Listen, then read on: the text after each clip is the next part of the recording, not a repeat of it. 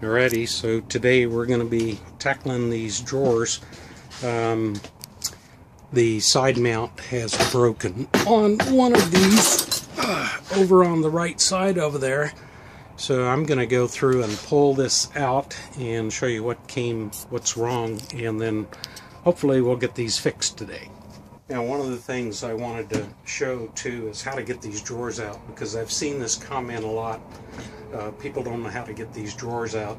So let's go ahead and we'll slide it out and it's going to come so far and stop. Now if you look right down here there is a little black tab right there and this one curves so that you'll put your finger on the top and press down on this.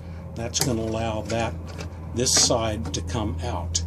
Now there's one on the other side uh, as well, just like this, but it's curved the other way. You're going to lift up on it and press down on this and at the same time.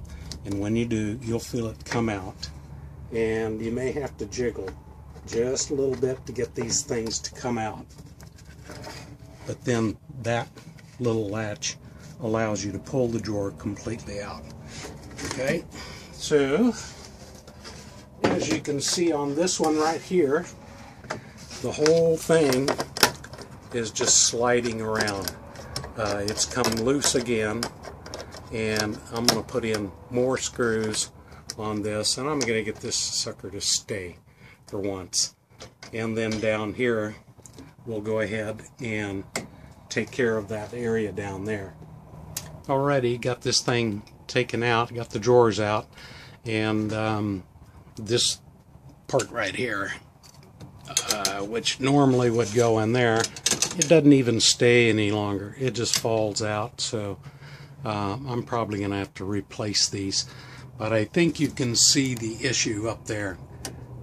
Um, oh, here. There we go. You see those nails, uh, puny little nails? They just nailed it into uh, that one board running right across the top. And I have put in two additional, maybe three additional screws on this top board to hold it in. Now this side over here has stayed pretty well, but it is running down at an angle. it's running from the top and down this way, so it's not even straight anyway. Uh, but this one, there's no support under the bottom, so your entire weight of the cabinet is uh, being held up just by those two screws up there. Now the way I'm uh, taking these wires out in here are those uh, little bits of uh, wire, uh, staples, the little nails. So I'm just using a wire cutter and going right up against the uh, as flush as I can get. I'll see if I can push them back a little bit, but there's no way I want to take this whole thing off because it's nailed in down there on the bottom too. So I'd have to pull it out as well down there.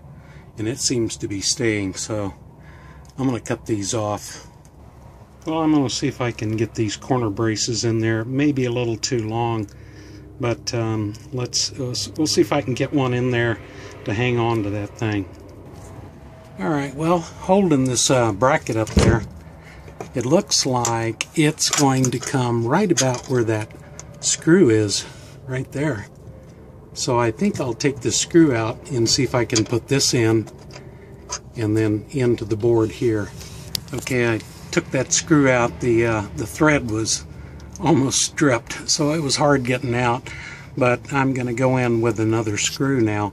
So when I do, um, I want to make sure that it's going to go up in there far enough into the top so you can see how far I'm going to drill into the top of this to uh, hold that together. So let's try that.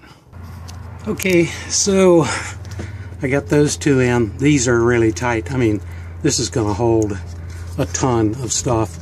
Um, now I, I marked a couple of holes here with a pin I'm going to drill a pilot hole, I think, and uh, hold this up here. And I need the back, back here where my finger is. That needs to be flush with the back this edge coming out on the other side. So that'll put it right where it needs to be. I'm debating whether to use wood screws or go through with a bolt. I think I'll try wood screws. If that comes out, I'll do bolts later on. To be continued, huh? Let's try that. Oh, by the way, drilling a little pilot hole into this wood to make these screws go in a little easier. This is a hard angle to work at. Now these, uh, the, the threads, the head on these screws, here's a Robertson I gotta use. Robertson head screwdriver. Be sure you got one. This one is reversible. It has flathead, Phillips, and Roberts head screws.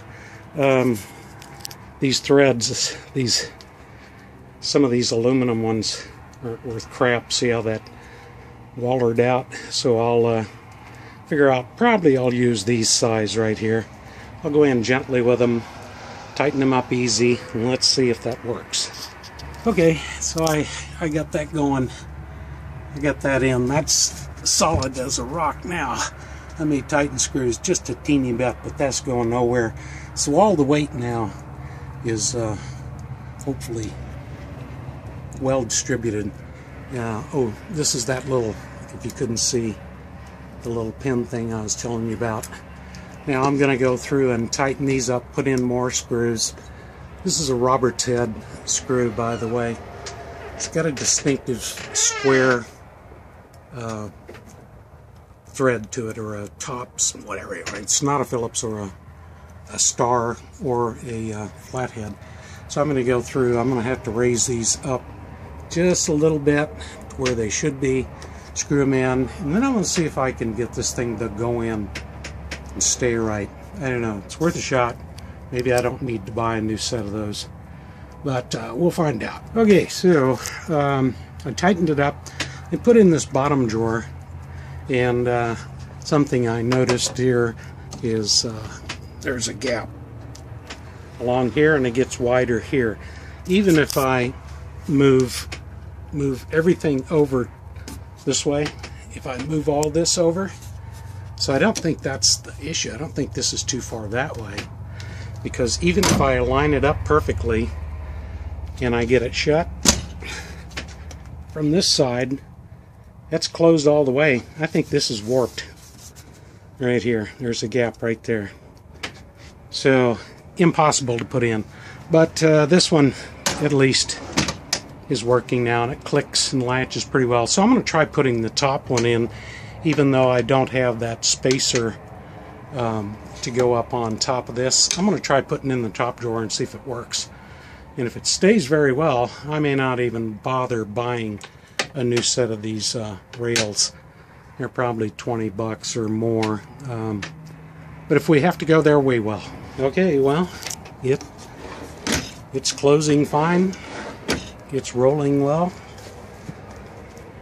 It's still not perfect. uh, you know what? The drawers work. So that's all I care about. We really don't carry anything heavy in there anyway. It's always light stuff. Um, that little, this, this part right in here is flopping around in here because there's no little spacer on top. There's a little rubber thing that runs across the top to hold that in. But um, I threw it away I guess. Wasn't real sure what it was or I couldn't get it back in. So I'm gonna call this good. It works and when it falls apart next time I may just go to a cabinet maker and have them do something for me. So anyway uh, that that probably took an hour hour and a half I wasn't in any rush. I was stopping to try to figure out how to do things. So I hope that helps. These are a pain in the butt to get in and out when you take these off and it's even harder to get them back in. So once you take them out guys uh, do your work. Try to get it all done. Hope that helps